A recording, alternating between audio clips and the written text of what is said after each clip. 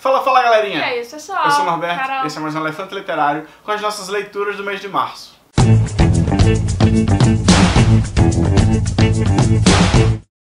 Quem já acompanha o canal sabe que em março a gente participou do Mulheres para Ler, então todas as minhas leituras foram de mulheres. E eu não consegui bater minha meta, mas eu ainda consegui ler quatro livros. Eu vou falar aqui do mais fraquinho ao que eu mais gostei. O primeiro livro que eu vou falar aqui vai ser O Inventário das Coisas Ausentes, de Carola Saavedra. O que, é que eu tenho que falar sobre esse livro? Primeiro, título sempre me chama muita atenção, a sinopse também me chama muita atenção. Existe esse homem que é um narrador e basicamente ele tem um amor da vida dele, que é uma mulher, que ele tem um relacionamento com ela e tal, tranquilo. Só que um belo dia ela desaparece, deixa uns diários dela com ele e, embora. Ela fez sem vergonha, eu achei. Ele vai contar a história dela a partir desses diários e a gente vai conhecendo um pouco do passado deles e meio que montando a história. Não faz um pouco sentido? Talvez não. Mas eu gosto desse tipo de coisa, então eu achei interessante. Até que ponto a gente consegue contar a história de alguém sem se envolver. Porque a vida das pessoas se entrelaçam, não é mesmo? Achei legal, achei legal. Me decepcionei? Vou dizer logo que talvez um pouco. Por quê? Primeira narrativa do livro eu achei um pouco confusa. Adoro livros que trazem uma narrativa não linear, mas eu não sei, eu achei esse meio confuso e meio sem nexo. Porque, por exemplo, você pega um livro que traz uma narrativa não linear, mas no final você consegue juntar os pontos. E nesse eu não consegui. Ah, pois então não deu em nada. Sabe quando você fica naquela esperança, ah, mas vai fazer um sentido, vai chegar uma hora que vai dar certo. Acabou o livro e eu fiquei, gente, qual foi o sentido disso tudo? Eu não entendi, sinceramente. Eu não sei se eu não entendi a história, eu não sei se. Mas enfim, eu me acabei me decepcionando. Tem umas partes legais, tem umas partes legais. Mas o conjunto da obra ficou meio confuso na minha cabeça. Então. É. Eu acabei. Uhum. Foi, foi um pouco abaixo das minhas expectativas. Ei, mas tem a ver essa história com um gato chamado Borges, de Vilto Reis. Não é do Mulheres pra Ler, enfim, porque Vilto é um homem. E inclusive eu falhei. Foi um- o maior flop do- da minha vida esse projeto, porque eu só li um livro de uma mulher e pronto. Aqui nesse livro, a gente vai. A gente sabe logo pelos comentários da, da capa, enfim, do livro aqui, orelha. Que a gente vai misturar ficção e realidade. Então aqui a gente tem coisas que de fato não vão ser respondidas no final. Mas é uma coisa que eu gostei muito, minha gente. Esse foi um dos melhores livros que eu li no mês. Acho que foi o melhor livro que eu li esse mês. E ele vai contar a história. Vai se passar, na verdade, na cidade de São Bernardo. Onde João Meirelles, que é um, um radialista e escritor, ele vai trabalhar lá, né? E quando chega lá, a primeira notícia que ele tem que dar no rádio é um suicídio. E todo dia tem um suicídio na cidade. É a cidade demônia. Todo dia é o povo morrendo e ele fica tipo, o que é que tá acontecendo aqui? Pelo amor de Deus. Na ideia dele de morar nessa cidade, que na verdade é uma cidade de praia, calma e tudo mais, de ser uma vida pacato, confortável, vai tudo por água abaixo. Daí ele vai querer saber o que é que tá acontecendo, porque as pessoas estão se matando e ele acaba se vendo num, num emaranhado de situações conflitantes, ele fica meio perturbado. E a gente vai ter justamente essa questão da mistura da ficção com a realidade, porque olha, esse livro aqui dá um nó na cabeça da pessoa. É desse tipo de livro. E a história não é linear. Não vamos admitir que é, porque não é. Mas é isso que eu tô dizendo. Tem muitas vezes que dá certo. Você É. que não é Pois linear, é, é mas quando não dá, a pessoa sentido. fica, É, deu em quê? Deu em nada, né? Exatamente. Foi o meu, meu sentimento. O que, que tem a ver o gato?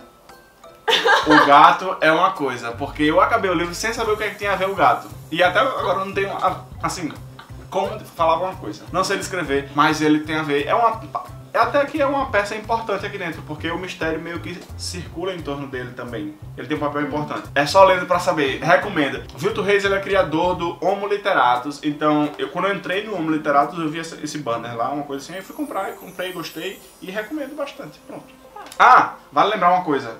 Uma coisa, gente, eu tava lendo o livro e eu vi, eu acho que eu conheço essa história, eu já vi esse modelo em algum canto. Quando eu cheguei no final, a inspiração dele é quem? Daniel Galera. Daniel Galera e Haruki Murakami. Bom, Eu amei esse livro, sinceramente. Arrasou. Pode me mandar mais de cortesia. O que é aquele? O segundo livro que eu vou falar aqui, ao mesmo tempo não vou falar, vai ser Nimona. Eu não vou falar porque eu já fiz um vídeo só sobre ele, então, né, não vamos perder tempo aqui, mas é uma recomendação aí que vale a pena ser lido também. Também li A Cidade Murada de Ryan Grouding. Aqui a gente vai conhecer a cidade de Hacknam. Na vida real existiu essa cidade que era uma cidade fechada no Japão, não lembro onde era. Que ia pra lá todos os bandidos, todos os criminosos e tudo mais e ficavam lá confinados. Era tipo o tamanho de um bairro, uma cidade com mais de 30 mil pessoas. Todo mundo empilhado em, em, nas casas, em prédios lá tudo mais, meio que um favelão do crime. A gente vai conhecer aqui a história de Dai, que é um menino que mora nessa cidade, só que ele tem alguns mistérios. Na verdade, todos os três personagens principais têm mistérios. Dai, ele tem uma coisa que ele esconde das, das outras pessoas. Jin é uma menina que se finge de menino para poder salvar a irmã, que tá presa dentro dessa cidade, que é Mei Yi. E Mei Yi tá presa dentro de um, um, um cabaré lá, de um cara que ele, tipo, sequestrou as meninas e fez, tá fazendo elas trabalharem para ele. Daí a gente meio que tem a história toda se voltando sobre esse eixo. Ao mesmo tempo que Jin quer salvar a irmã, Dai também quer derrubar isso para acabar com o crime na cidade e tudo mais. Tem uma crítica bem legal à sociedade aqui, a maneira como as coisas foram construídas. E a aventura do livro também é muito legal, embora eu não tenha achado um livro perfeito e maravilhoso. Segundo livro eu mais gostei desse mês foi A Vida Que Ninguém Vê, de Eliane Brum. É um livro que é nacional, de uma jornalista, que eu já conheço alguns textos dela, na verdade. E esse livro, na verdade, é uma reunião de crônicas que fizeram sucesso, acho que na década de 90, que saía num jornal da época. E ele conta nada mais, nada menos que histórias de pessoas comuns. Tipo assim, um, um cara que pede esmola na rua, um cara que trabalha no aeroporto só que nunca viajou de avião. Sabe gente como a gente? É um livro que vale muito a pena ser lido, assim, eu adorei. Lógico que umas histórias são melhores que outras, como todo livro de crônicas ou contos, mas foram histórias que me tocaram bastante porque me fez refletir muito sobre como a gente tá nessa vida, né? É. De que cada vida é uma vida, assim, literalmente. Cada pessoa tem a sua história e todas elas são interessantes, independente de fama ou não. Cada pessoa tem uma experiência e tem uma, uma coisa a ser contada, uma história que seja, mas tem uma vida, né? Que ela literalmente viveu e que ela é aquilo. E é uma narrativa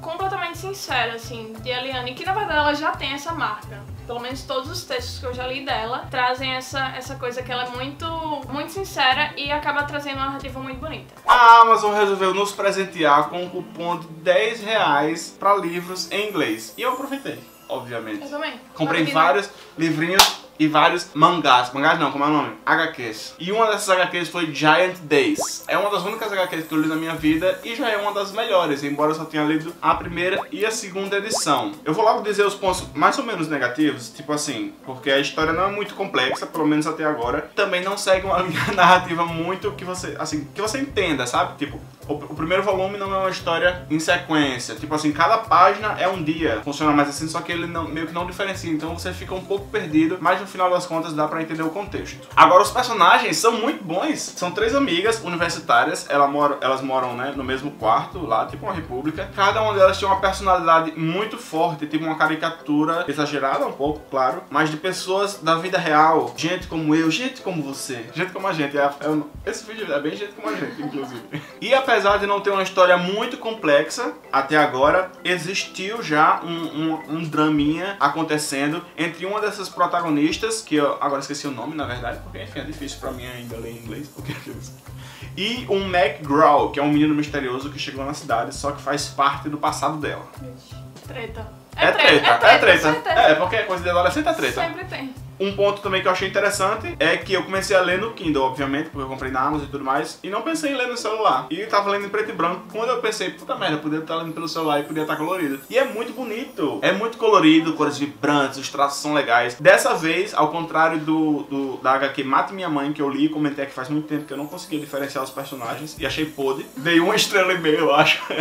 Esse aqui eu adorei os personagens. Ah, eles são muito legais. Eu recomendo a todo mundo que gostar desse tipo de história e de HQ também. Outro livro que eu tenho pra comentar, eu também não preciso comentar, porque a gente, já, precisa. a gente já fez vídeo sobre ele. Fez sim. E foi Hibisco Roxo, de Chimamanda. Pra mim, melhor livro do mês. Eita, foi o melhor livro, eu tinha esquecido que eu tinha lido esse. Pois é. Agora, um gato chamado Borges foi bom. Agora, Hibisco Roxo não tem como comparar, né, minha gente? Eu, eu tipo, separei outra categoria. Então é isso, se você se interessou por algum desses livros e quer comprar, tá aqui no box de descrição os links por onde você compra sem pagar nada mais por isso. Ajuda o canal, deixa o seu like aqui, se inscreve se ainda não for inscrito, compartilha pros seus amigos se inscreverem também e fica ligado em tudo que tá rolando por aqui pelas nossas redes sociais. Valeu! Valeu! O primeiro livro foi o invent... Não. O meu livro mais fraquinho foi... Não, vai ficar muito repetitivo, né? O primeiro livro que eu vou falar vai ser O Inventário das Coisas Invisíveis. Eita, invisíveis. Invencíveis? O quê? Invisíveis.